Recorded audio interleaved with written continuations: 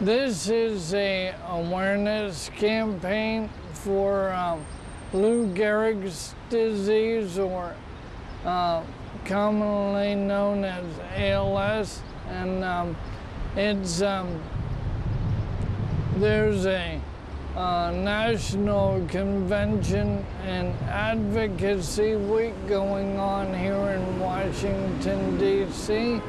and um, we brought this uh, display up from Florida um, to uh, create public awareness for the disease. Um, it's uh, um, a horrible disease that um, doesn't get enough um, exposure, and uh, we're trying to change that.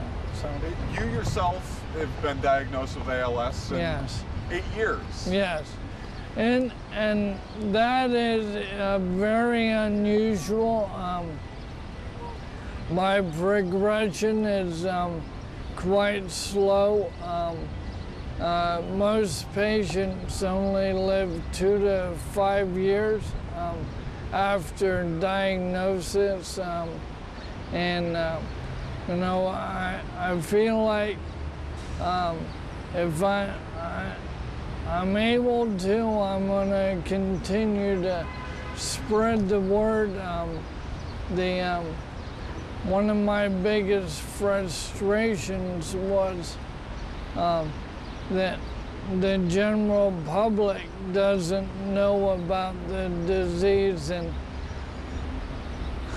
how hard it is on the patients and families. Not only to raise awareness here in, you know, the Capitol, but you also are going to Capitol Hill tomorrow. Yes. Talk about what you hope to accomplish there. Well, we need to um, uh, get the um, uh, our congressmen and uh, uh, funding basically um, to um, try and find a cause and uh, a cure for this disease. Our our military veterans are twice as likely to uh, contract ALS as the general public. And um, our advocacy um, has um, created a, um, been able to get the government to um, designate ALS as a military connected disease. Um, and we need to get the continued funding for the research to find out why we're you know, getting uh, ALS twice as much as anybody else. Last question. When you take a look at all of these bodies here, Mhm. what goes through your mind? What emotions go through your mind? Um, it's very emotional um, for people who, who see it for the first time, and um, then when you walk through and you read the names and the individuals' stories, it really hits home that you know this can strike anyone at any time. It it doesn't discriminate men, women, young and old.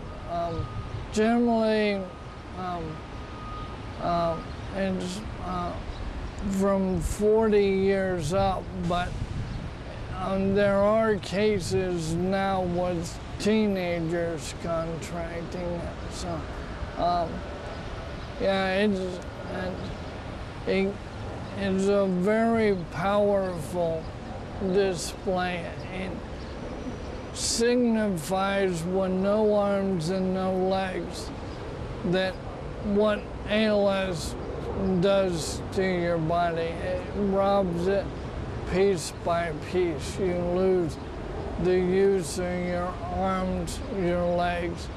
I'm losing my ability to speak but it's slowly happening.